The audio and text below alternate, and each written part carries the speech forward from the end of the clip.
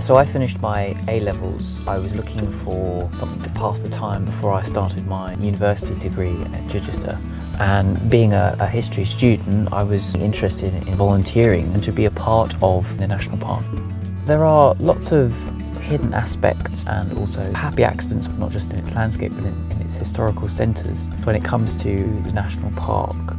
In the Neolithic period, the heathland was a large forested area and the Neolithic people cut the trees down to create their settlements. When they realised that the soil wasn't fertile enough, they moved on for a much more arable patch of ground. What sprung from those forested areas was what we now call heathland, where you have lots of heather, the sandy soils underneath, but also the, the lots of different reptiles and lots of different species that you wouldn't necessarily find in all parts of the national park or even in all parts of the world, because they are as rare as the rainforest, if not rarer.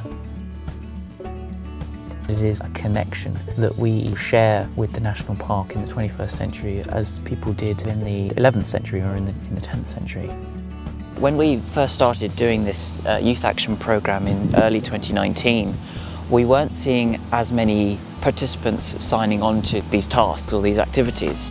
But now it's a much expanding age group that is participating in the volunteering side.